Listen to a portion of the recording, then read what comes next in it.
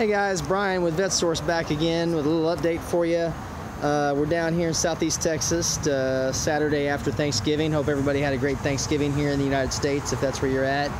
Uh, other parts of the world, hopefully uh, your day was productive or weekend. So today I'm gonna kind of do a little uh, how-to video for you guys on the braking systems on uh, C2, mid C2s to all C3 Corvettes, which if you're the Corvette geek or not the Corvette geek, that would be anything Corvette from 1965 to uh, 1982.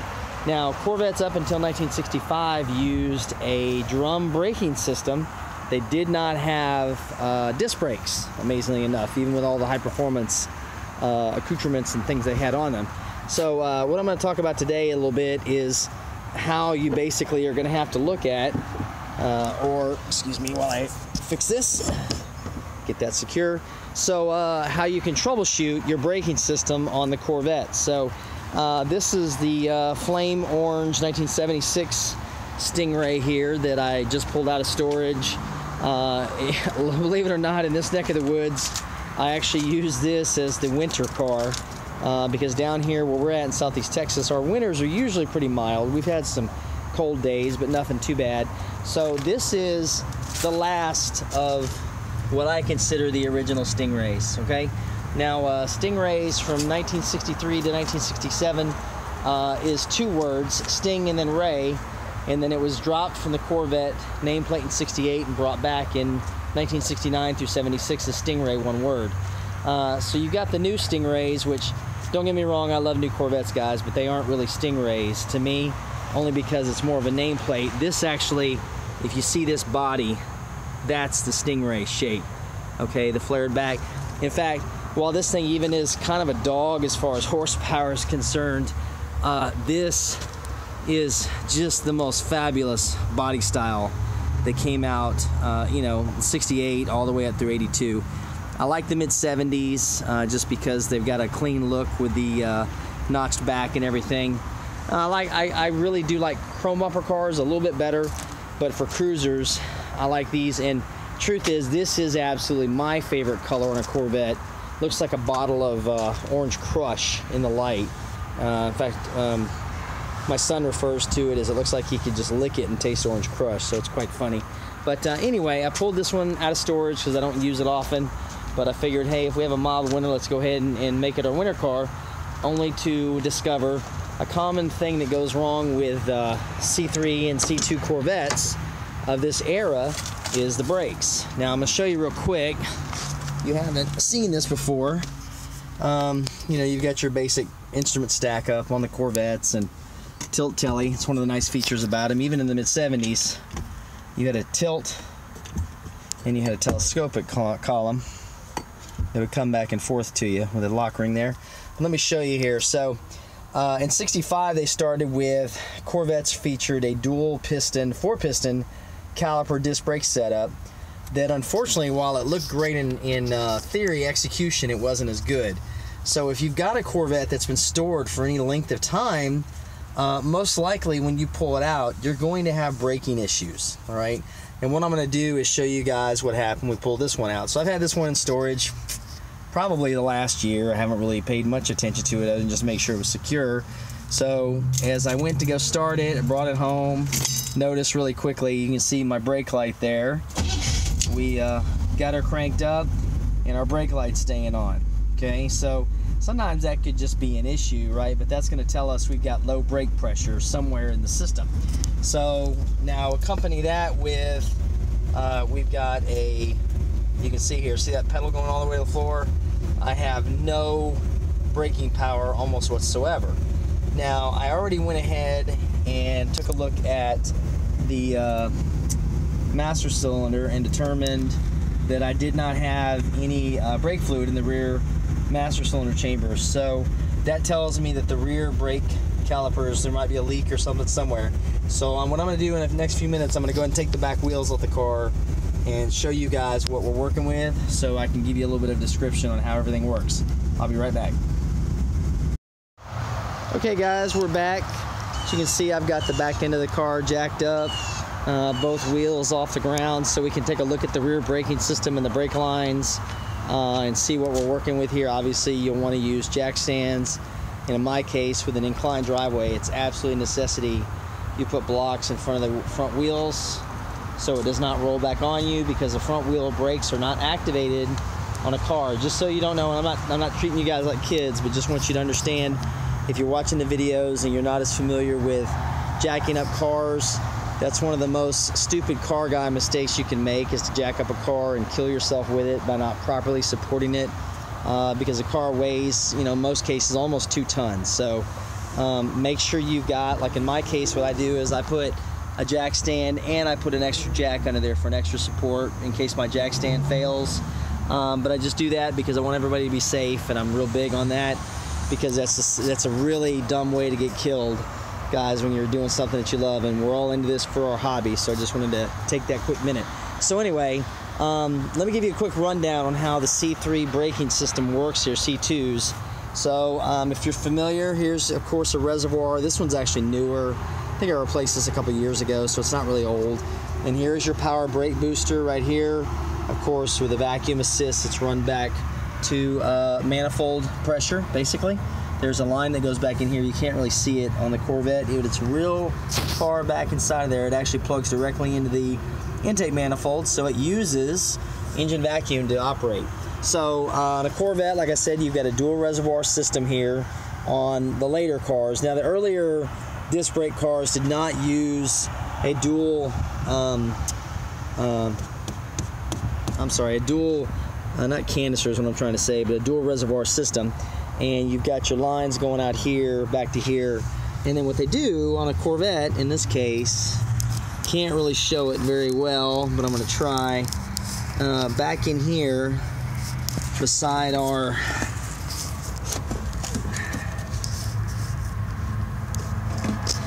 beside there is a proportioning valve okay and what that valve does as I accidentally turned off my phone there, sorry about that, is it distributes the brake fluid from front to rear. Obviously, front's going to get more braking power than rear. And you can see in there there's a switch on top of that. That's what tells me there's low brake pressure in the system. So that's the basics of the system. Not very complicated by today's standards, but it is the way it is. So as we walk around here, you're going to see our brake calipers on the car.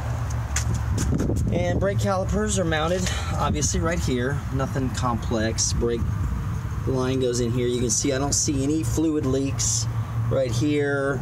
Uh, my, my rubber hose looks pretty good. It's not collapsed. So, you know, I'm typically pretty sure there's not going to be an issue there. Uh, we follow this along, we look at it, and we look at our caliper, and the caliper is dry. So this is a four piston, like I talked about. You've got essentially two halves to this. It's got one half here you can see the line right here uh, a little bit there it is. And they're joined together. You actually have bleeder screws on a Corvette on both sides of this to get fluid all the way through the system because the fluid comes through the body here into the other side and circulates actually it starts here comes over here and then back again. So these actually have two bleeder screws to get the fluid the air out at their highest point okay because bubbles are going to rise obviously in a fluid system. And then the cool thing about these is they use simply just a pin here that keeps them in place. And there's your actual uh, pads, right? With two pistons on either side. So that's your four piston. You can see the back side of the, the housings right there. So obviously this one looks good. You know, I'm to show you, it was rather obvious when I pulled the wheel off. Like I told you, these brake calipers were great in theory, but in execution, there were some flaws with them. So as we get over to this side, you can see how grungy looking this one is, right? See how the body of it's all rusted and nasty? Well, what happens when brake fluid hits a metallic surface, it will actually corrode. It's highly corrosive, so it corrodes everything. So you can even see uh, the corrosiveness or the rust on here. So um, this is our culprit right here. We've got a leaky caliper. Now, the reason why the calipers on the Corvettes get leaky is because in their infinite wisdom, Chevrolet used a, uh, a metallic body, a steel bodied caliper. This is our replacement caliper here, along with, in conjunction with aluminum pistons, which was great, right? high performance for the day. But what happens is, you can see the pistons here, the dissimilar metals between the aluminum and the steel body cause them to develop pits in the body of the pistons. So what that did was it allowed the brake fluid to seep through right here. And in fact, that one is seeping right through one of these pistons as I checked it before I got back on video there. So um, what we're gonna do is we're gonna put this new brake caliper on, bleed the system again, and I think we're gonna be in good shape. So as you can see, the brake caliper literally only has two bolts that hold it in place. Uh, they're on the back side, of course.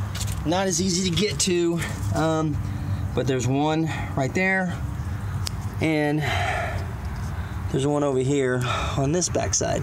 So, uh, and of course one feed line for brake fluid. So I'm gonna go ahead, I'm gonna take that brake caliper off on the other side and I'll be back with you guys in a second to show you uh, what I did. Hang on just a second, I'll be right back.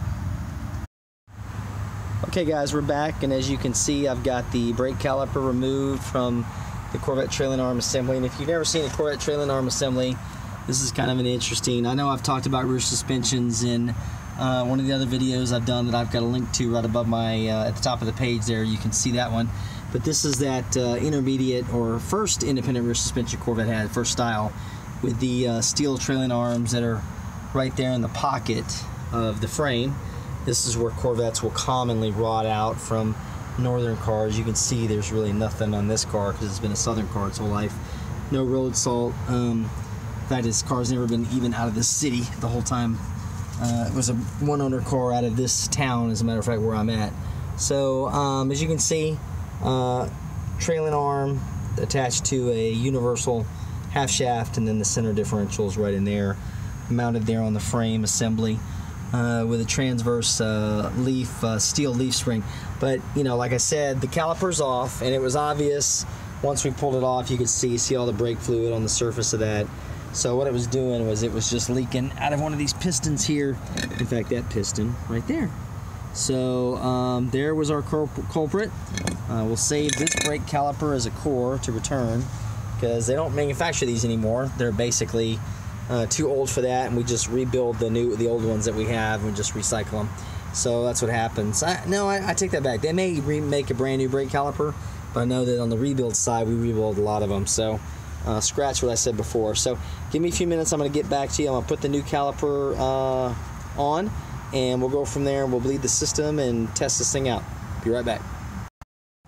Okay guys, I am back and as you can see I've got my new uh, brake caliper installed here with my bleeder screws obviously to the front and up so that the fluid bubbles will actually travel in that direction to the highest point. Of course this is just a dummy stop here because what they do is they can switch the bodies of these interchangeably when they put them together. Now, for my purposes, I did clean up my brake pads and put those back in, but I do not recommend that when you've got fluid contamination because that can just cause other problems. But uh, I've been doing this a while, so I'm going to go ahead and roll with that, and I'll probably change these out in the next few weeks. I just want to get it back together for right now, and as you can see, these are extremely simple to pull the brake pads out of here. There, of course, is our bleed, our uh, main feed line right there, and our bleeder hoses. So all that's left to uh, wrap this up is we're going to bleed it real quick and then uh, go ahead and take a road test. So uh, give me a minute. I'll give you guys uh, one final uh, look-see as we've got it back on the ground and uh, we'll go from there. Be back in a second. Okay guys, we're back with the finished up product. We've got our car back on the ground again, bled, and we're gonna go take it for a little road test here and see what we've got to do.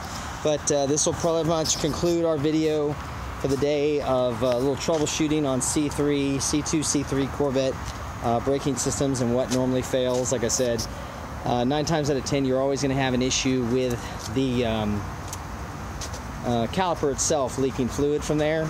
So uh, if you get into uh, any of these older Corvettes or start to buy one, make sure that's the first place you look if the brakes don't work. And if there's no fluid in the reservoir, it had to go somewhere. So I want to thank everybody again for taking time to watch my videos. I've really enjoyed making them for you guys.